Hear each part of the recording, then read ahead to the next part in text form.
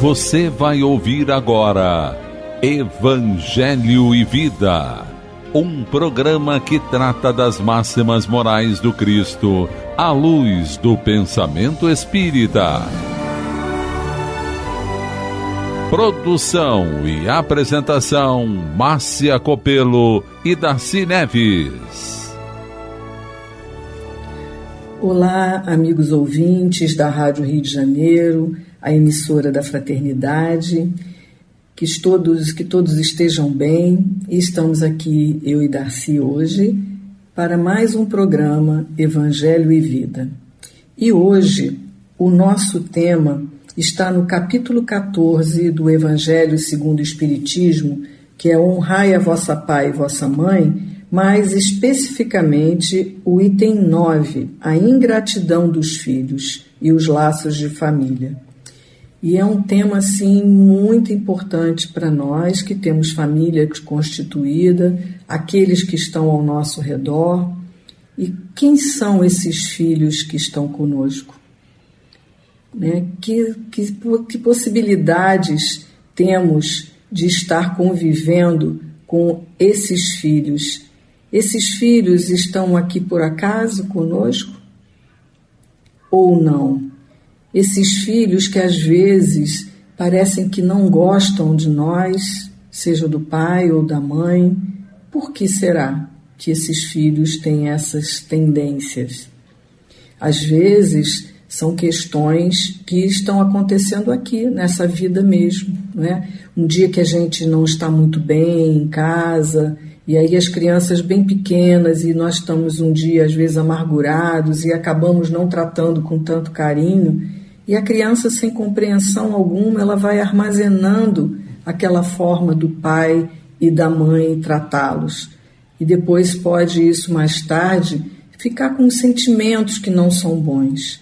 Isso com falta de compreensão aqui nessa vida.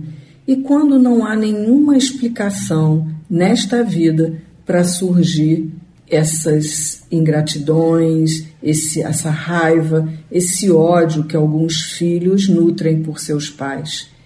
Então, esse item, Santo Agostinho fala assim de uma forma belíssima para todos nós sobre a questão de sermos pais e termos filhos. E quem são esses filhos?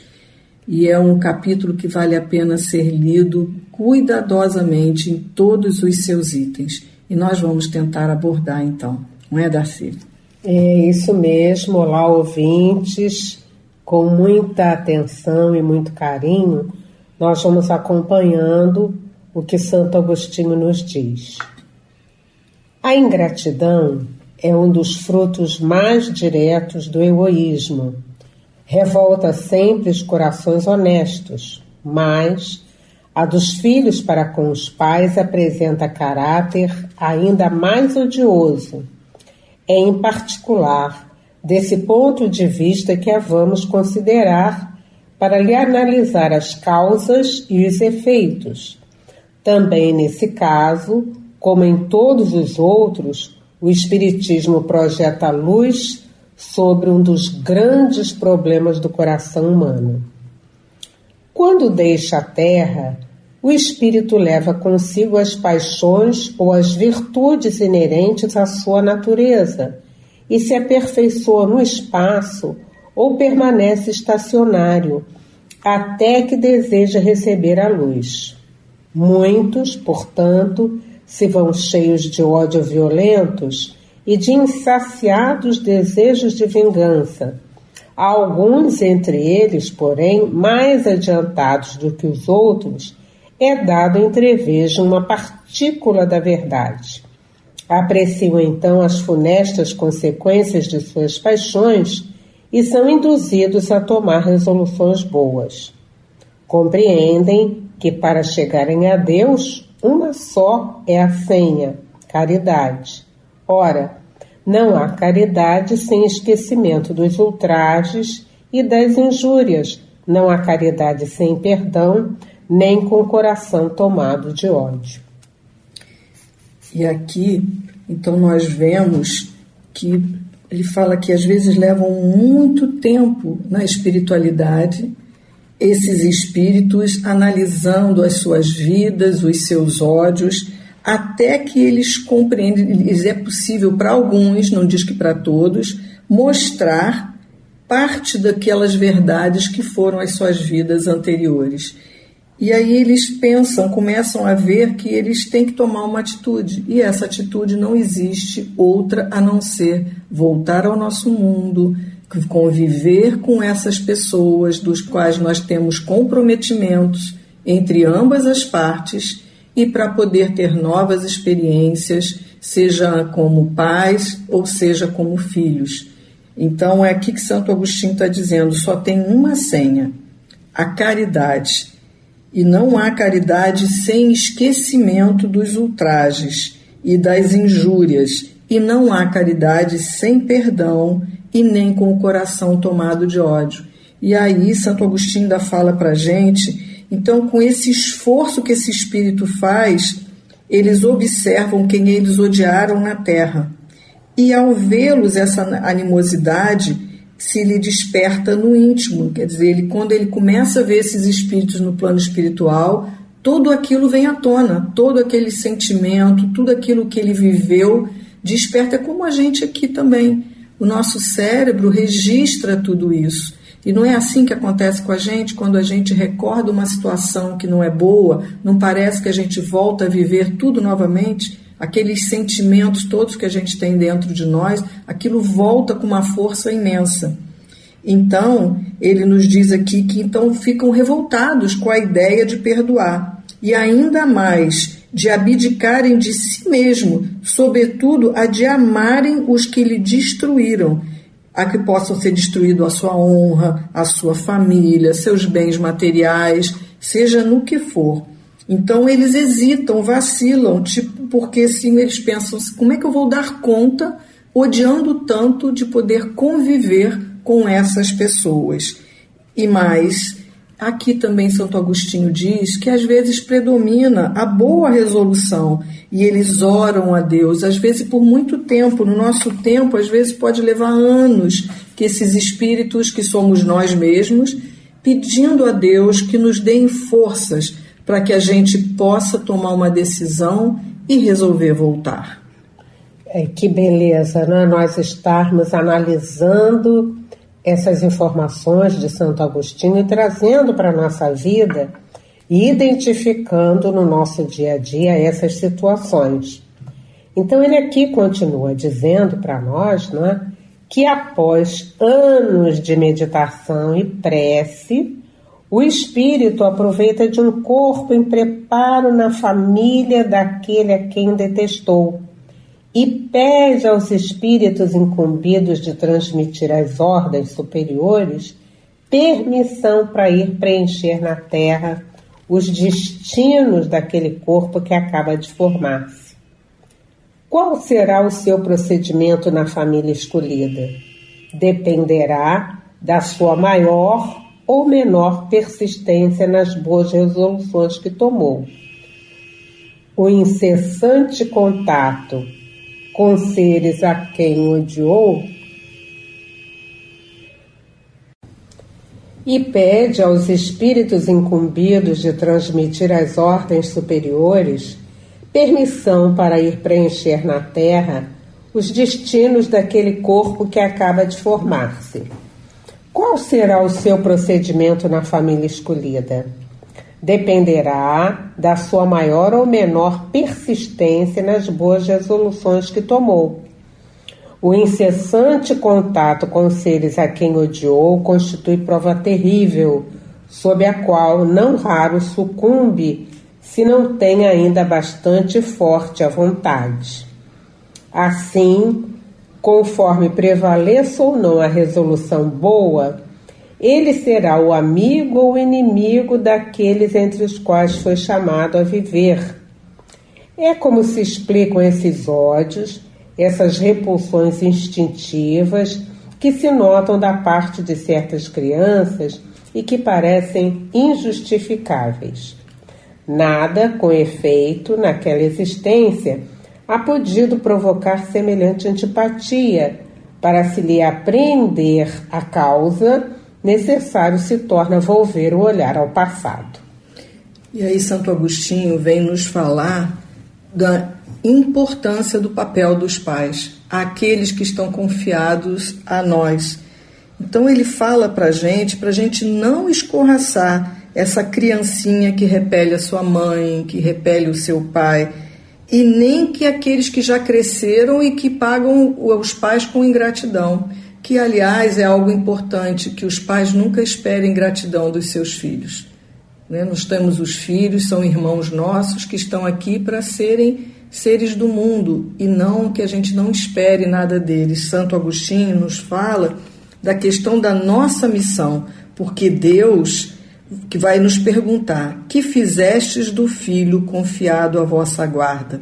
Se por culpa vossa ele se conservou atrasado, tereis como castigo vê-lo entre os espíritos sofredores, quando de vós dependia que fosse ditoso. Então, vós mesmos, assediados de remorsos, pedireis-vos seja concedido reparar a vossa falta Solicitareis para vós e para ele outra encarnação, em que o cerqueis de melhores cuidados, em que ele, cheio de reconhecimento, vos retribuirá com o seu amor. Então, Santo Agostinho nos diz que nós vamos tendo, às vezes, sem nem saber, é, apesar de conscientemente nós termos como filhos é, raciocinadamente amamos os nossos pais, mas às vezes vem algo de dentro que a gente não sabe explicar de onde vem esse ódio, essa raiva, e vem daí, como o Darcy já leu e como Santo Agostinho já coloca, desse nosso passado. Então, Santo Agostinho fala para as mães: imperfeita intuição do passado se revela no seu filho, né, do qual podeis deduzir que um ou outro já odiou muito, ou foi muito ofendido que um ou outro veio para perdoar ou para espiar. Então ele diz para as mães: Mães, abraçai o filho que vos dá desgosto e dizei convosco os mesmas: Um de nós dois é culpado. Fazei-vos merecedoras dos gozos divinos que Deus conjugou à maternidade, ensinando aos vossos filhos que eles estão na terra para se aperfeiçoar, para amar e bendizer. Então ele fala aqui que nós, pelo meio da educação, nós temos que desde o início é, tentar tirar esses maus princípios inatos nessas crianças e que vêm de existências anteriores.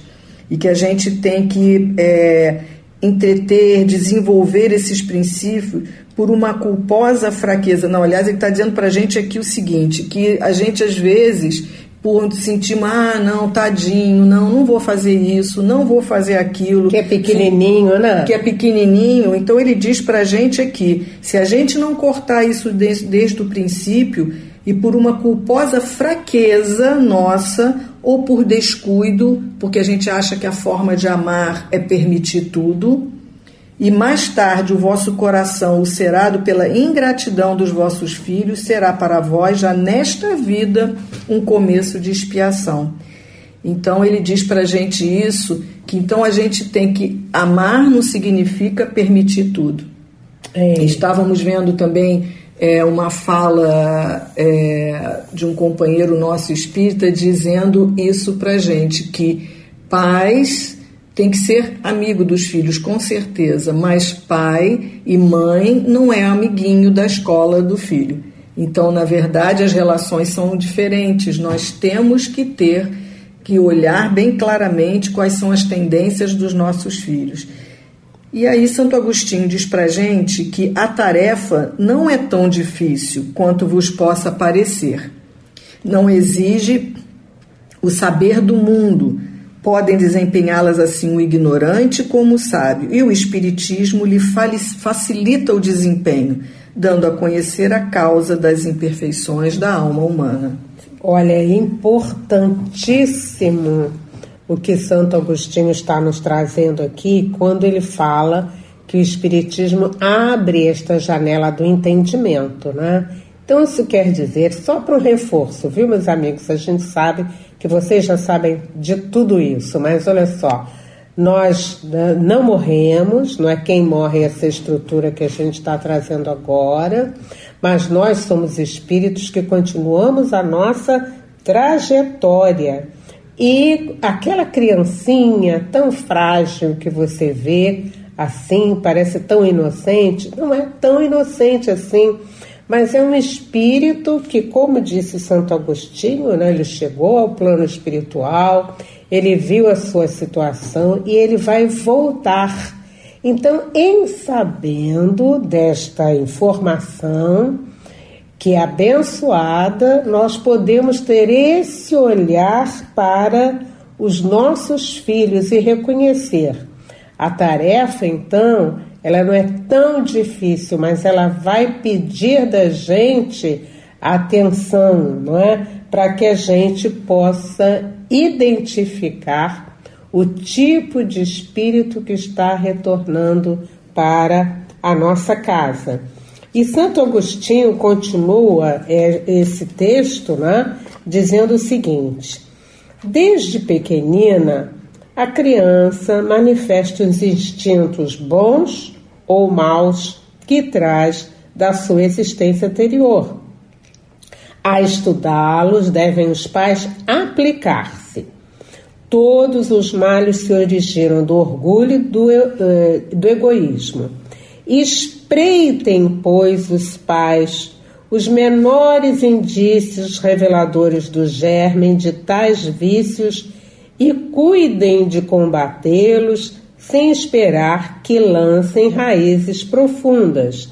Não é? Quando a gente ele está utilizando aqui esse verbo espreitar, significa observar. Então nós vamos precisar ter esse olhar observar as atitudes, as reações dos nossos filhos, para que a gente possa ajudar e combater são a, a herança não é que eles trazem do passado. E aí ele diz: façam como bom jardineiro que corta os rebentos defeituosos à medida que os vê apontar na árvore. Se deixarem se desenvolvam o egoísmo e o orgulho, não se espantem de serem mais tarde pagos com a ingratidão.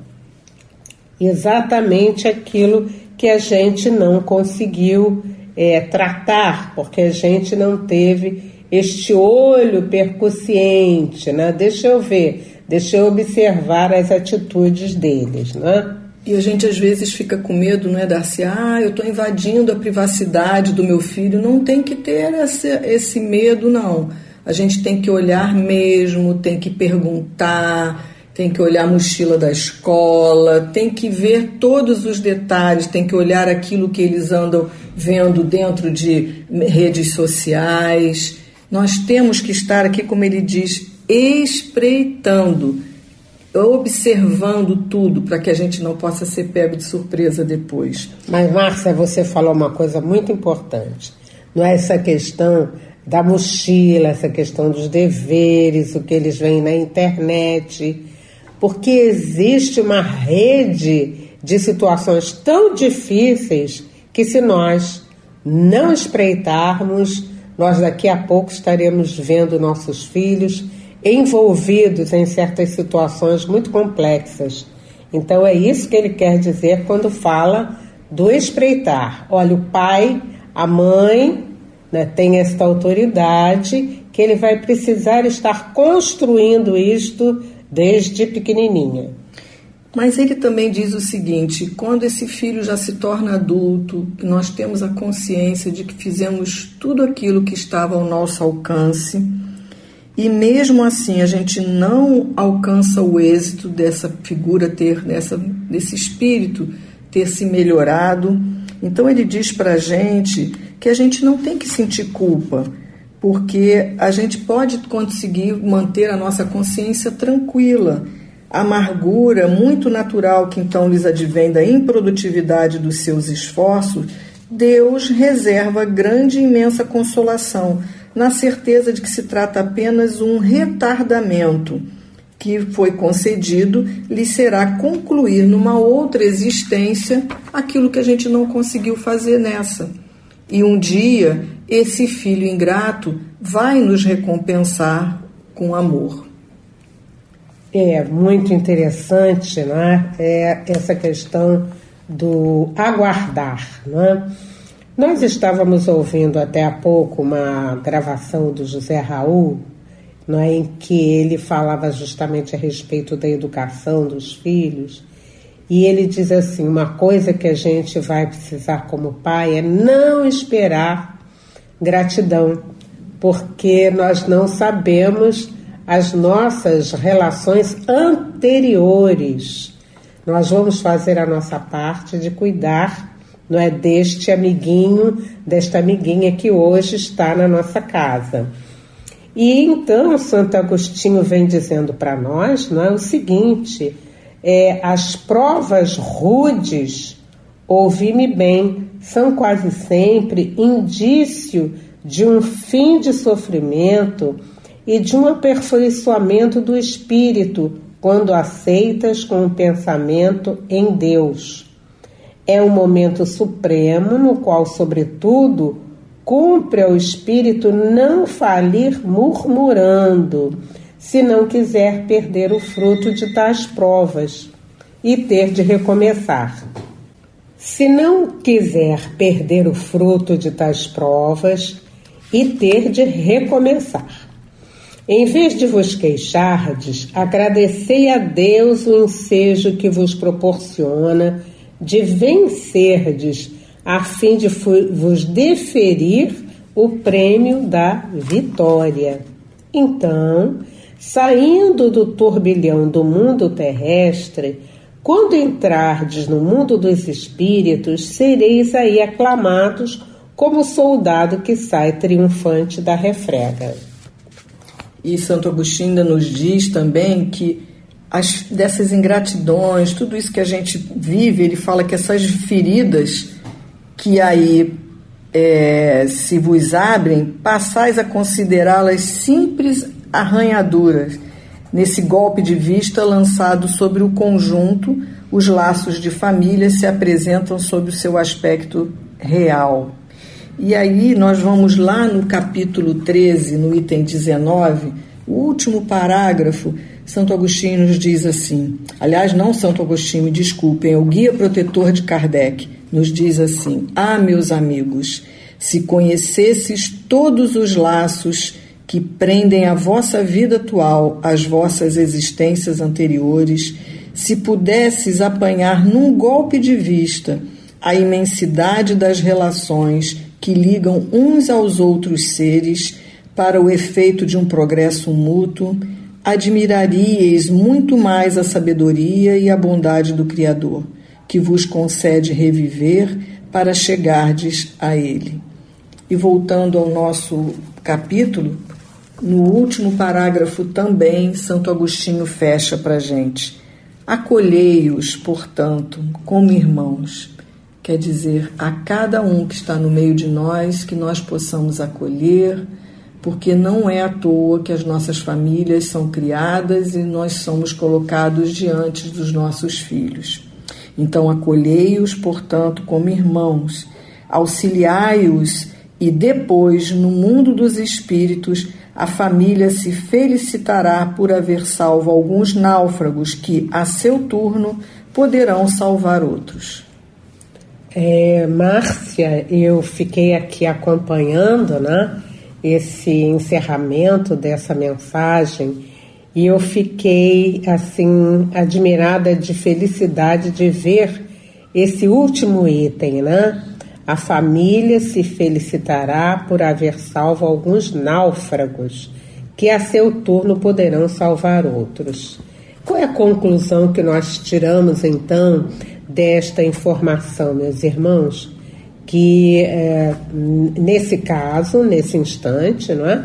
nós estamos recebendo na nossa família é, muitos espíritos, alguns que a gente já teve conhecimento, outros não, e relembrando não é, que nós temos a nossa família pelos laços espirituais e os materiais.